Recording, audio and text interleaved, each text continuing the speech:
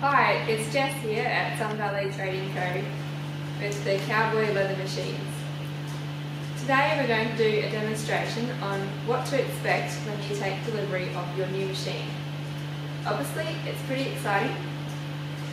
You have this big black box that's landed on your doorstep and they're pretty heavy so you don't want to be moving this too far. But if we start unwrapping, able to see what's inside. Yours will probably have more Corflute than that and more bubble wrap. This is just a demo, so we're going a little bit on the sticky side. They will be well packaged when they're going on a truck. Also, some of them will come with the machine head in its polystyrene inside a cardboard box if we've been able to fit it underneath the pedals here. This is your box with needles, thread, chain, all sorts of goodies in there. There'll your thread stand.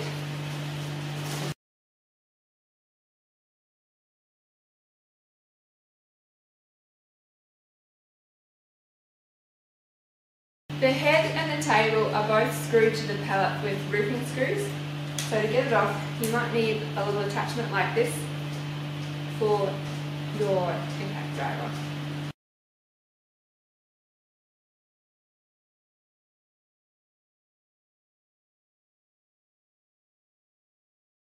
In your box there'll be four screws, bolts for attaching the machine to the table.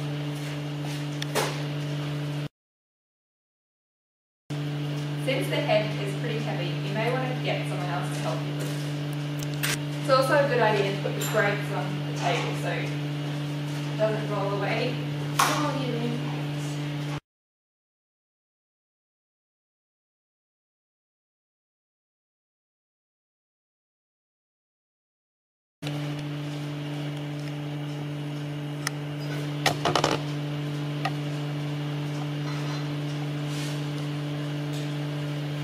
slip the bolts in and then attach the washer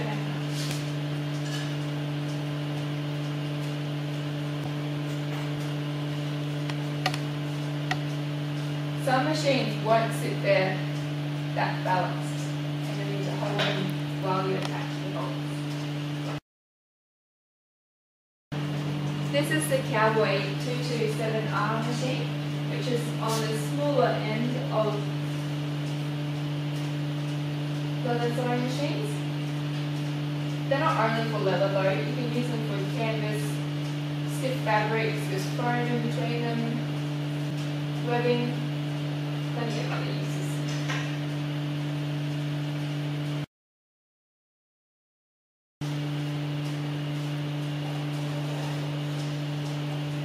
The belt may be in the box or it may be still on the pulley to attach it to the machine, use if the machine has a head that tilts back, use undo this fastener here and tilt the head back. Otherwise, you might need to do it before you put the bolts.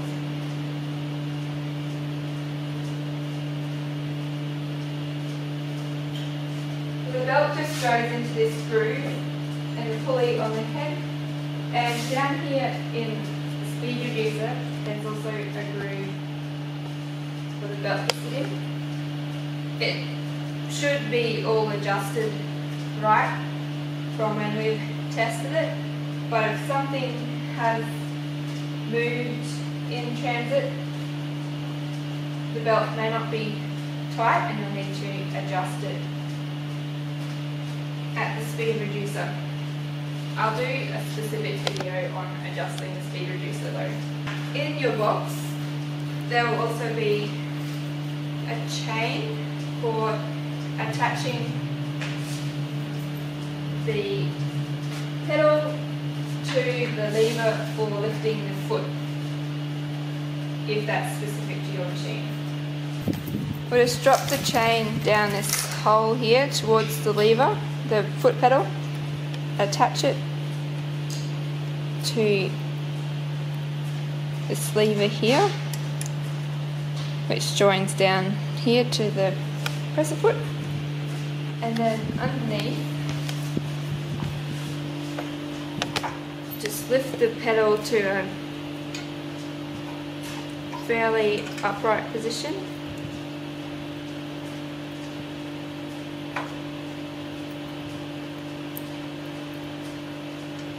And attach it with. Some of them will come with D shackles for this. The bobbin winder sits beside the machine. The screws will already be in the table need to take them out.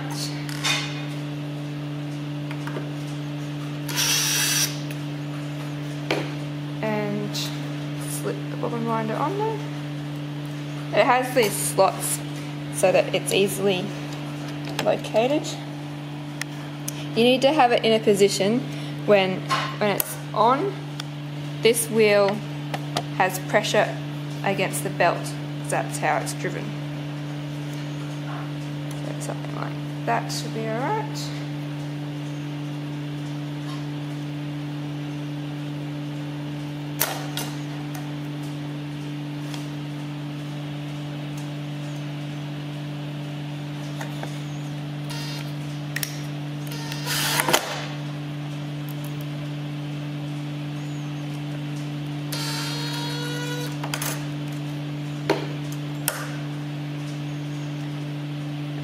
Fine.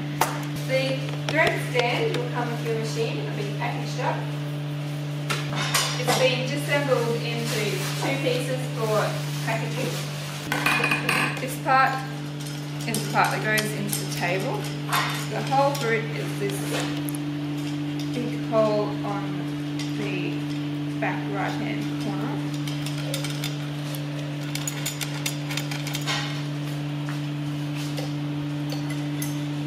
So the one washer and the other washer on top. It down there tight. Put washer and nut underneath. And do it up tight.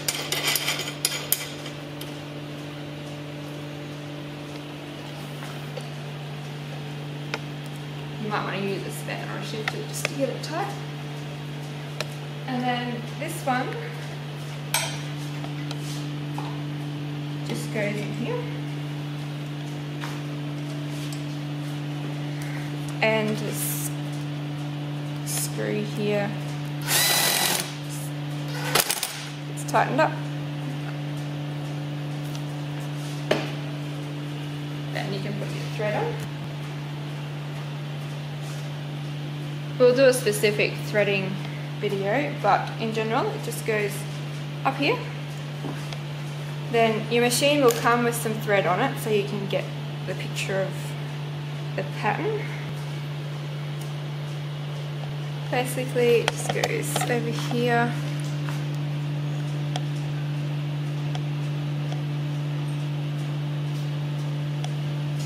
And then a few loops around here.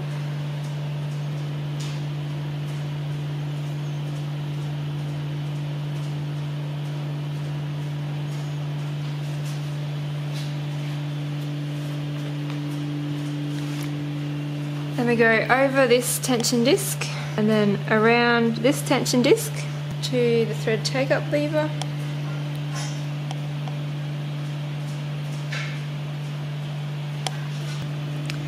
And then back down again.